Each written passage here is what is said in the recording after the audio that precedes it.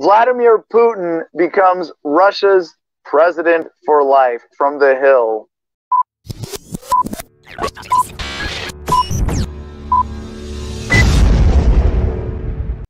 Opinion contributor Dov S. Zakheim. Uh, views expressed by contributors are their own and not the view of the Hill. Thanks to an overwhelming vote of confidence from about three fourths of the Russian electorate, Vladimir Putin can now remain president of Russia until 2036. He will be 84 years old when he completes the second of the two additional six year terms that Russian voters awarded him in a, in a referendum that ended on June 30th. The referendum's final results are not yet all in but its outcome is not in doubt. The referendum that guaranteed Putin's tenure, assuming he remains the picture of health that he constantly demonstrates before those who are adoring supporters, actually addressed 205 amendments to the Russian constitution apart from the question of his extended tenure. Among these were popular ones such as marriage as a heterosexual union, indexation guarantees for pensions, and a variety of other social benefits. The tenure proposal was buried among the plethora of amendments, rendering it almost impossible for Putin's extension to be rejected. So the popular ones, it says marriage is a heterosexual union. Now, just as a reminder, yeah, that's how backwards Russia still is. Three quarters of the voters just came out I mean, again, numbers numbers not finalized, but vote of confidence from about three quarters of the electorate, not just of voters, but I guess of eligible. Uh, Who knows how they're calculating that? But obviously, overwhelming. Now, I, I when, when I say like, are, do you have to be backwards to be against gay marriage? Um, yeah, yeah. As a matter of policy, you do. Now, if you're against gay marriage, okay, uh, don't marry a dude. If you're a dude, don't marry a chick. If you're a chick, uh, it's really that simple. You're against gay marriage, uh, don't have one. Uh, if you don't want to support it, uh, don't support it. But to say I want to use the government to make it illegal, I support a ban on gay marriage, that I want to, to stop other people from having this voluntary thing that they, they otherwise have already. Like, yeah, sorry, that's backwards. It's a measure of how much Putin has really stunted consciousness, awareness, uh, who knows what else, uh, compassion, empathy in Russia. So by 2036, Putin will have outlasted at least three American presidents and a minimum of four if Donald Trump is not reelected this year. His time in office, if one includes his four years as prime minister when he was the real power behind then President Dmitry Medvedev, will total nearly 37 years. That extended tenure would render him the longest serving Russian or Soviet leader since Peter the Great, whose portrait graces Putin's Kremlin office. Putin's publicly stated goal is to restore Russian greatness to at least that of the Soviet era.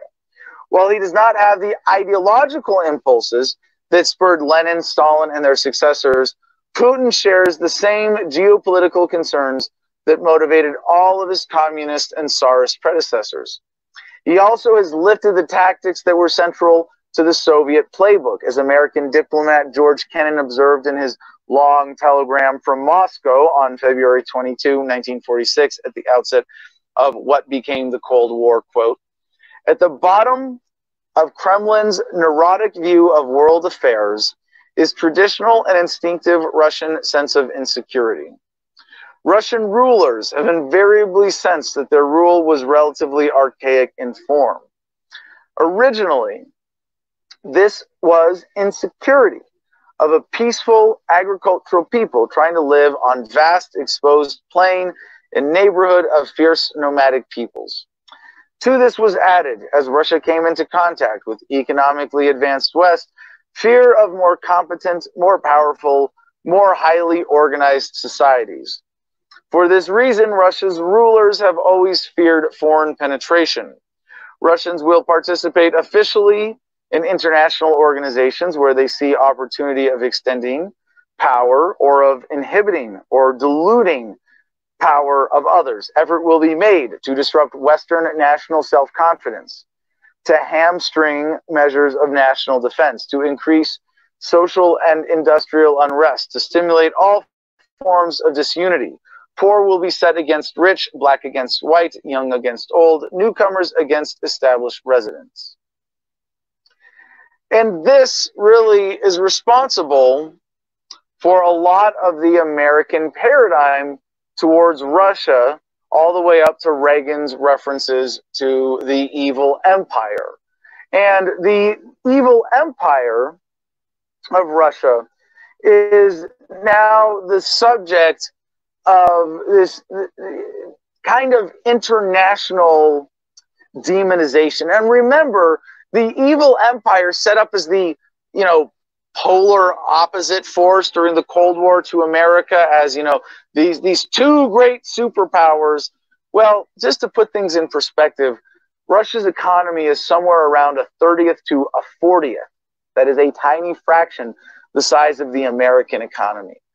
But it has been raised up many times as a specter of fear. And really, it's, it's more accurate to think of Russia as a satellite of the American empire or a satellite of the same global banking empire than to think of it as a rival superpower. So what it does, what it represents, you know, Russia meddling with the American elections, think stop just stop and think about that for a second. The ridiculousness of that narrative, right? Because what this suggests, like when people, are Russia was meddling in American elections. What that does is give these countries a certain anthropomorphic motivation reality that distorts reality rather than describes it. Did Russia interfere with the U.S.? Now, first of all, to accurately describe what you're trying to say with that statement, you have to say the Russian government, which really, to even be accurate there, you have to say certain elements of the Russian government. But you have to step back and go, who controls the Russian government? Could elements in the Russian government get away with something meaningful like that without the permission of the string pullers? No, it's the same people behind getting Trump and Clinton the nominations who used Russia to meddle in American elections, if that's what happened in any kind of meaningfully significant way. Back to our, our Russian friend, uh, senior advisor Zakheim, Putin benefits from a distinct advantage over his Tsarist and communist predecessors, however. None of them was able to enjoy the support that he has received from Trump from the day the American president assumed office and even before then. None of Russia's other leaders ever had any serious impact on America's elections. None had the presidents of the United States take their word over that of his own intelligence experts, even when it appeared that Russian irregulars possibly had killed American troops. Even back in 2014, Putin was able to annex Crimea and send his little green men into Ukraine without a peep from the White House since Trump took office. Putin may only benefit from the White House's sycophancy for a few more months. Perhaps as Trump's poll numbers continue to sink, Putin will decide that he must exploit the window of opportunity that he now has to move his forces into Belarus, thereby placing Poland in a Russian vice. Even if he does not, Putin's extended tenure means that Russia no longer can be seen solely as a near term threat to American interests. On the contrary, the next several presidents will have to contend with a man whose life's mission is, as Kennan so elegantly put it in his long telegram, quote, to seek security only in patient but deadly struggle for total destruction of rival power. And am I saying here that Putin is a total puppet? No, no, no, no. Like any major player today, he is a power broker. And he is quite the player himself in establishing this role. There are members of the superclass who would rather he not be there. But as long as he's there, I guarantee you he will continue to serve their agenda as he is part of the super class himself at this point. And as we see, this major power grab is going to continue to serve the agenda of the rich getting richer and the poor getting poorer, whether that's through brazen consolidations of power like this subtle manipulations of elections behind the scenes, or who knows, maybe something a little more obvious, like using the coronavirus as the excuse to add $9 trillion of U.S. Federal Reserve note liquidity to the markets. I'm not encouraged by this trend because it looks like Russia and Putin have consolidated their role as the evil little empire with their little green men doing the will of the other big power players who are operating more behind the scenes.